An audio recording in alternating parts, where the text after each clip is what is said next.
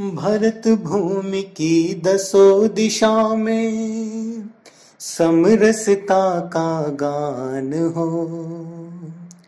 एक ही मंदिर, एक जलाशय, सबका एक शमशान हो। समरसता का गान हो। हिंदू सगे हैं भाई भाई कभी पतित न होते हैं। राम कृष्ण के वंशज है सब, इस पर गर्वित होते हैं। छुआछूत का रोग मिटा दे, सब धर्मों का मान हो। एक ही मंदिर, एक जलाशय, सबका एक शमशान हो। समरसता का गान हो। छुआछूत यदि पाप नहीं तो जग में कुछ भी पाप नहीं।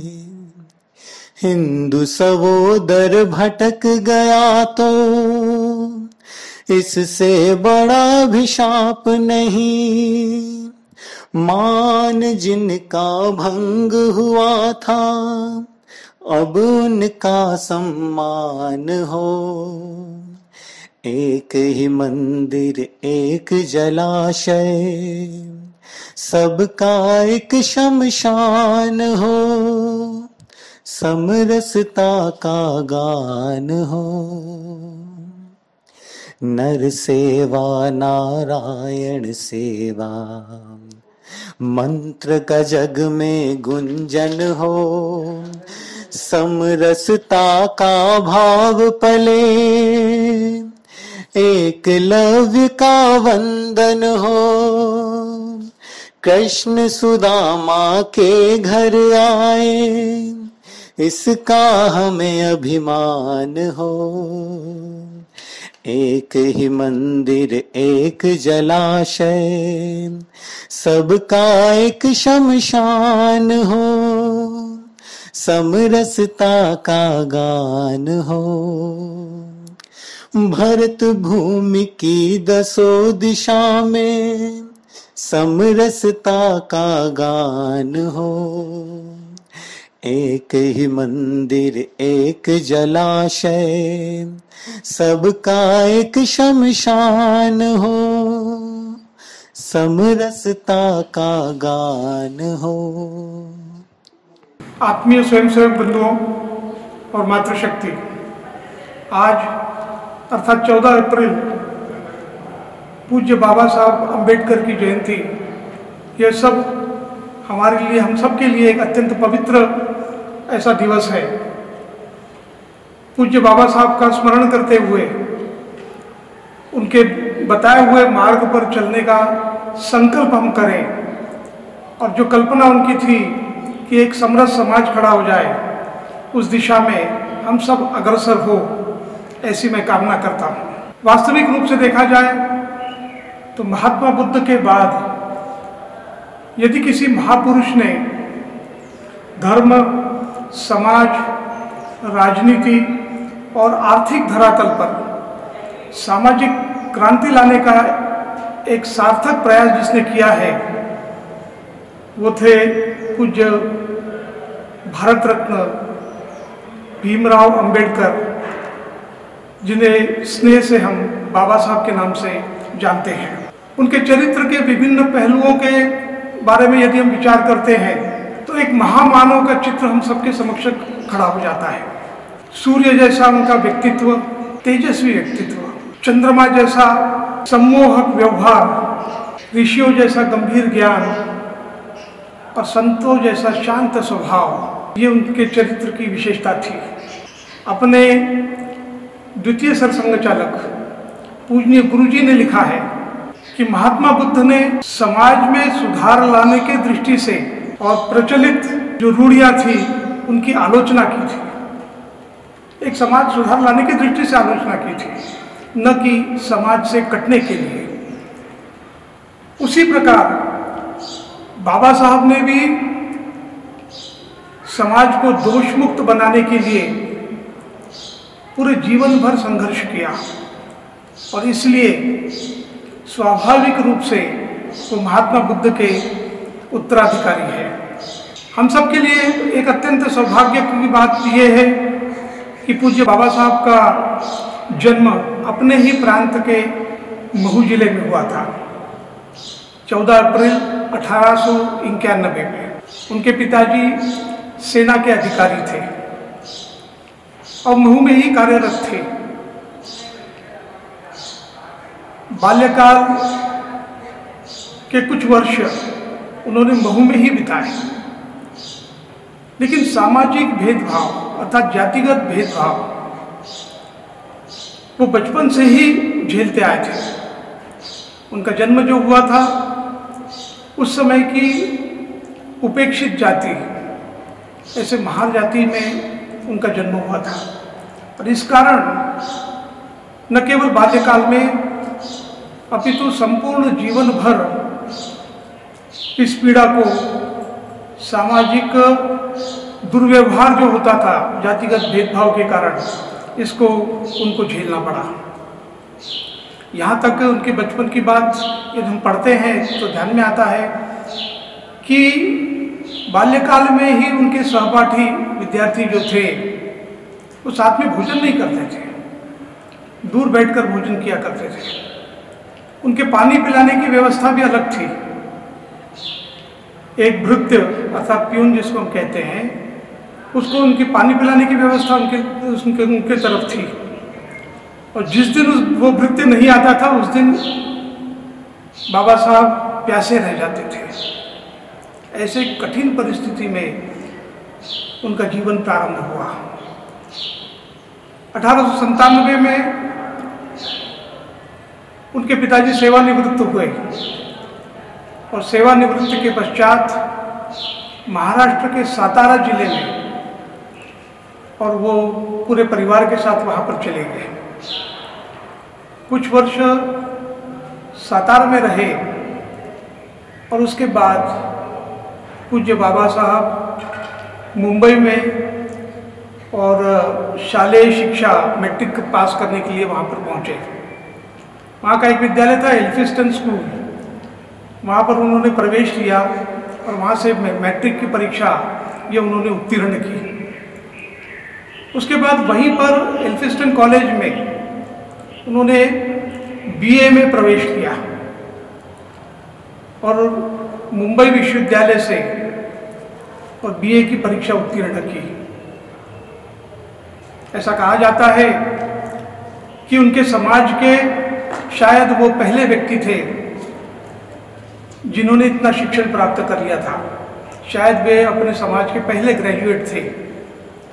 और इसलिए पूरा समाज उत्साहित था और समाज ने एक सार्वजनिक कार्यक्रम ऐसा तय किया बाबा साहब के लिए विशेष रूप से।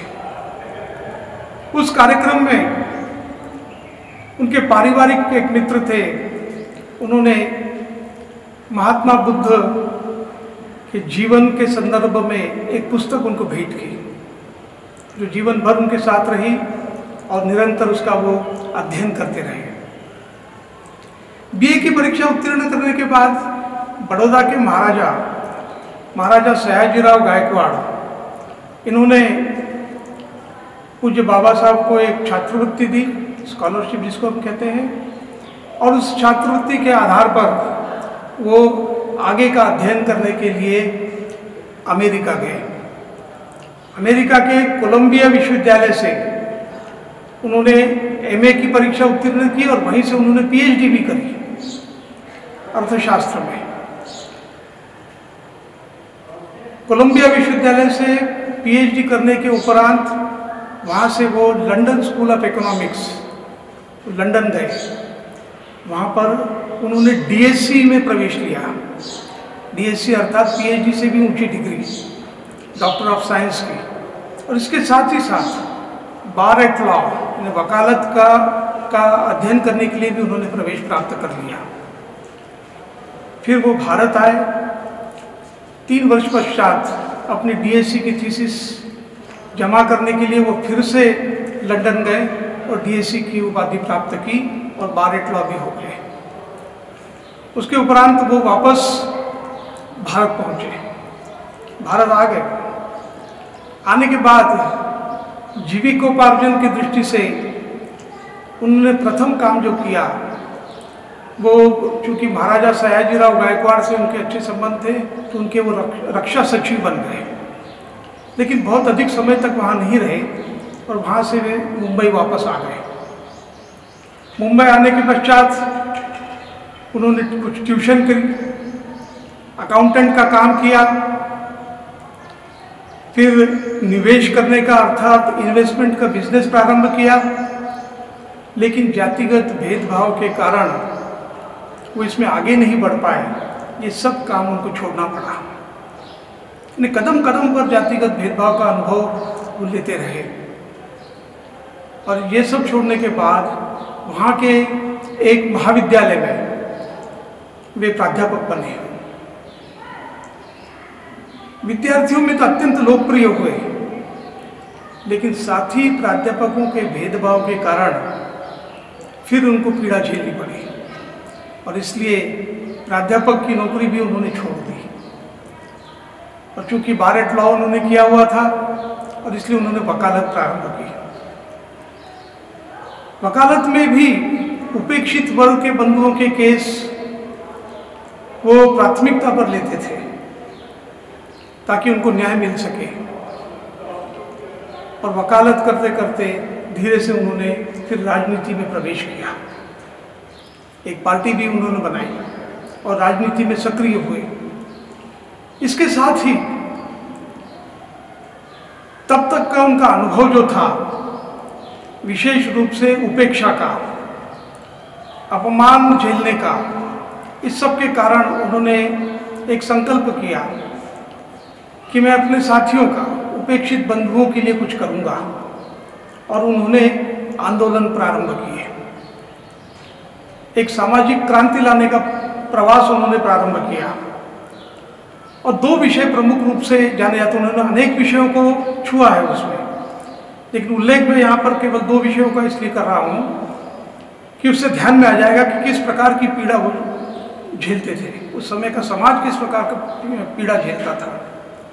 वो दो विषय थे। एक तो मंदिर में प्रवेश का और दूसरा सार्वजनिक जल की जो व्यवस्था थी, पेयजल की जो व्यवस्था थी, उसके उपयोग के संदर्भ में उन्होंने अनेक आंदोलन चलाए। क्योंकि सार्वजनिक व्यवस्था जो थी, वो इन उपेक्षित बंधुओं के लिए प्रतिबंधित थी।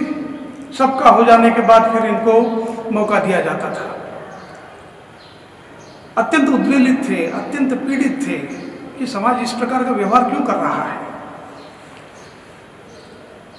मंदिर प्रवेश का एक आंदोलन उल्लेखनीय रहा। नासिक के कालाराम मंदिर में और उपेक्षित बंधुओं को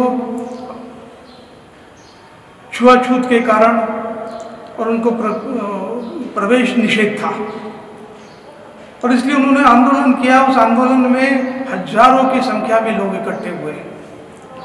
और एक शोभा यात्रा निकालकर और मंदिर जाने का, और उन्होंने प्रयास किया। लेकिन मंदिर के पुजारी जो थे, उन्होंने द्वार बंद कर दिए। इस प्रकार अनेक ये वो झेलते गए। लगभग 21 वर्ष तक इस प्रकार की क्रांति लाने का उन्होंने प्रयास किया। समाज में सुधार लाने का प्रयास किया। समाज को दोष मुक्त करने का प्रयास किया। लेकिन सब जगह उनको, उनकी अवहेलना होती रही। अत्यंत पढ़े लिखे होने के कारण और एक स्थान तो उनका था विद्वत्ता के कारण। और इसलिए देश जब स्वतंत्र हुआ तो स्वतंत्रता के बाद पहले न्याय और कानून मंत्री पूज्य बाबा साहब बने। और न्याय और कानून मंत्री बनने के बाद दो इस प्रकार के काम उन्होंने किए, जो जिसने पूरे पूरे देश में हलचल मचा दी। एक सुदृढ़ प्लेटफॉर्म के ऊपर जिसको हम कहते हैं कि देश को लाकर खड़ा कर दिया उन्होंने। हम सबके ध्यान में एक बात और आना चाहिए कि पूज्य बाबा साहब, ये केवल उपेक्षित समाज के नेता नहीं थे, ये संपूर्ण देश के नेता थे।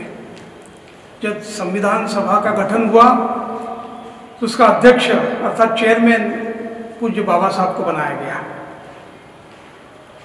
हमारे संविधान की पूरी रचना, उसका ड्राफ्ट जो है, अत्यंत अध्ययन करते हुए, बहुत परिश्रम करते हुए उन्होंने अपना जो संविधान बनाया। और हिंदू समाज को सुधारने का उनका प्रयत्न तभी भी चालू था। लेकिन उनको राज्यसभा के माध्यम से और उनकी विद्वत्ता के कारण उनको संसद में लाया गया था। वे प्रथम व्यक्ति थे जिन्होंने हिंदू कोड बिल लाया। हिंदू समाज में एक सुधार लाने की दृष्टि से। बहुत विरोध हुआ उसका भी। संसद में भी अनेक लोगों ने उसका विरोध किया। कालांतर में उन्होंने जिन जिन बातों की ओर इशारा किया था, वो सब बातें मान ली गई। इसमें विशेष उल्लेखनीय बात जो बताना थी कि महिलाओं को बराबरी का अधिकार। महिलाओं को पैतृक संपत्ति में कोई अधिकार नहीं था। पूज्य बाबा साहब ने और अपने प्रयासों से इस हिंदू कोड बिल में उसका प्रावधान किया और आज हम देखते हैं कि महिलाओं को समान अधिकार प्राप्त है। अंतर्जातीय विवाह इसके लिए भी उन्होंने बहुत प्रयास किए इस प्रकार हम देखते हैं कि पूज्य बाबा साहब जो हैं, इन्होंने हिंदू समाज में भी परिवर्तन लाने का एक अभूतपूर्व प्रयास किया, संपूर्ण जीवन भर संघर्ष किया। 21 वर्ष तक लगातार वो संघर्षरत रहे। अंततोगत्वा 1956 में, और उन्होंने बौद्ध धर्म स्वीकारने का एक निर्णय लिया। बौद्ध धर्म स्वीकार करने का निर्णय भी ऐसा प्रतीत होता है कि उन्होंने बहुत सोच विचार करके लिया। सेमेटिक पंथ जो थे, वो उनके पीछे पड़ गए थे। अनेक प्रकार के प्रलोभन उनको दिए जा रहे थे। उन सभी प्रलोभनों को ठुकरा कर और भरत भूमि पर से उपजे हुए एक धर्म को उन्होंने स्वीकार किया।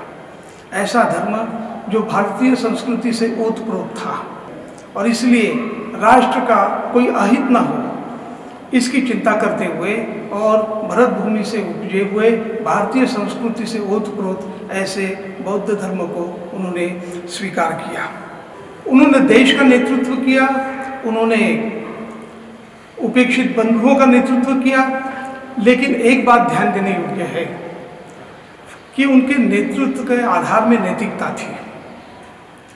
और इसका एक छोटा सा उदाहरण ऐसा है कि महाराष्ट्र के भंडारा में चुनाव हो रहा था। सम्मिश्र चुनाव था वो। और उसमें दो लोग चुनकर आने थे, एक सामान्य वर्ग से और एक आरक्षित वर्ग से। कांग्रेस ने अपने दोनों उम्मीदवार खड़े कर दिए थे। और विरोधी पक्ष से बाबा साहब अंबेडकर का नाम आया था एक, और दूसरे मेहता जी थे, इनका नाम आया था। मेहता जी के संदर्भ में विरोधी पक्षियों में कुछ मतभेद थे। और मेहता जी को जो वोट डालने वाले थे, वो बाबा साहब को वोट नहीं डालेंगे ऐसी जानकारी इनके अनुयायियों को मिल गई थी।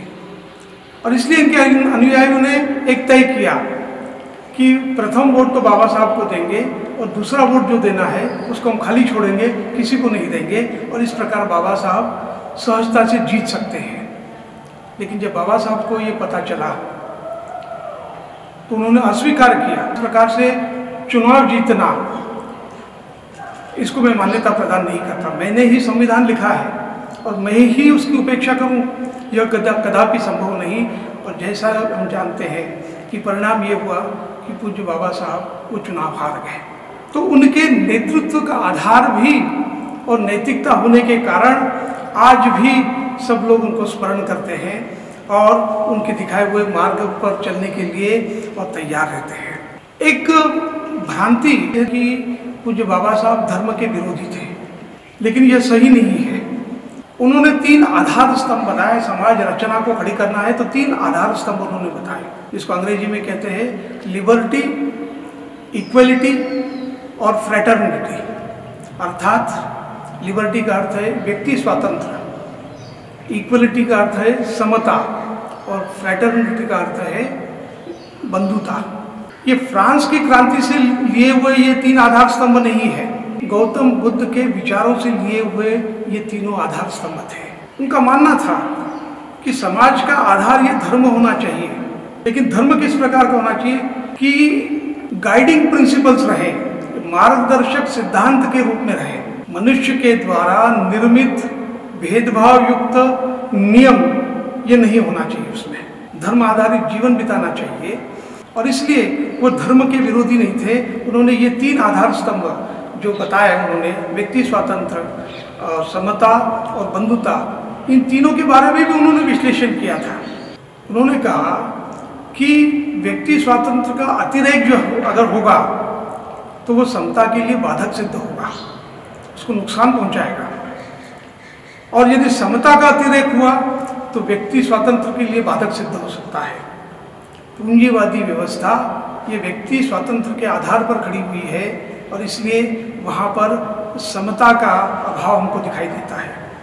उसी प्रकार से साम्यवादी व्यवस्था जो है, वह समता के आधार पर खड़ा है वहाँ पर इसलिए व्यक्ति स्वातंत्र हमको देखने को नहीं मिलता है। और इसलिए बाबा साहब ने कहा कि तीसरा घटक जो है, तीसरा आधार स्तंभ जो है, वो सबसे महत्वपूर्ण है, वह है बंधुभाव का, बंधुता का। बंधुता जितनी बढ़ेगी, उतना व्यक्ति स्वातंत्र और समता के बीच में संतुलन बढ़ेगा। और इसीलिए राष्ट्रीय स्वयंसेवक संघ ने इसी मार्ग को अपनाने का तय किया हुआ है। प्रारंभ से ही 1925 से ही पूजनीय डॉक्टर साहब ने जब राष्ट्रीय स्वयंसेवक संघ की स्थापना की थी, उसका आधार भी ये बंधुभाव था। हम कहते हैं हमेशा, शुद्ध सात्विक प्रेम ये हमारे काम का आधार है। ये बंधुभाव है। संघ स्थान पर शाखा में यदि कोई जाता है तो उसको क्या दिखाई देगा वहाँ पर? वहाँ पर केवल स्वयंसेवकों के बीच में शुद्ध सात्विक प्रेम दिखाई देता है। कोई किसी की जात नहीं पूछता है। केवल बंधुभाव के आधार पर और संगठन खड़ा करने का, लोगों को एकत्रित करने का और एकात्म भाव पैदा करने का प्रयास यह संघ प्रारंभ से ही करता आया है। इसका अनुभव पूज्य महात्मा गांधी जी ने भी अपने वर्धा के शिविर में जब वो गए थे तो वहाँ पर उन्होंने देखा कि वहाँ पर उस शिविर में भी कहीं पर भी और इस प्रकार का भेदभाव उन्होंने देखा, उन्होंने अपने शब्दों में व्यक्त किया। संघ के कार्यक्रमों में और संघ में जब इकट्ठे होते हैं लोग तो वहाँ पर किसी भी प्रकार का और भेदभाव हमको, जातिगत भेदभाव हमको दिखाई नहीं देता है। 1974 का एक पूज्य बाड़ा साहब देवरज जी का व्याख्यान हुआ था, एक विशेष व्याख्यान माला में, पूना में, और वहाँ पर उन्होंने घोषणा की थी, यदि छुआछूत पाप नहीं है तो कुछ भी पाप नहीं है। तो इस प्रकार के विचार लेकर वो संघ आगे बढ़ता है और एक और अनुभव हमको अभी ऐसा आया है कि अयोध्या के और भव्य राम मंदिर के शिलान्यास के लिए जिन्होंने प्रथम शिला रखी थी, वो श्री कमलेश्वर जी चौपाल, ये भी तथाकथित पिछड़ी जाति के हैं। तो इस प्रकार हम देखते हैं कि संघ स्वाभाविक रूप से और एक समरस समाज निर्माण करने की कल्पना लेकर पहले से ही आगे बढ़ा है। सबको एक छत के नीचे, अर्थात हम सब हिंदू हैं, इस भाव को जगाते हुए और सब में शुद्ध सात्विक प्रेम का भाव पहले सब में ईश्वर का दर्शन हम करें, इस भाव को लेकर संघ आगे बढ़ रहा है। हम सब स्वयंसेवकों का कर्तव्य है, विशेष रूप से आज भारत रत्न पूज्य बाबा साहब अंबेडकर जी की जयंती के दृष्टि से यदि हम विचार करते हैं तो हम सबने संकल्प लेना चाहिए कि उन्होंने जो स्वप्न देखा था, उस स्वप्न को पूर्ण रूप से साकार करने का दायित्व का निर्वहन हम सब करेंगे। इसी विश्वास के साथ मैं अपनी वाणी को यहीं पर विराम देता हूँ।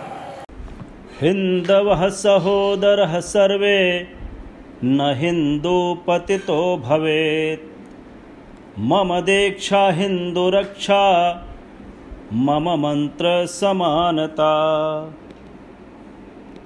अर्थ है, हम सब हिंदू भारत माँ की संतान हैं, आपस में भाई हैं, कोई भी हिंदू ऊँचा या नीचा नहीं है।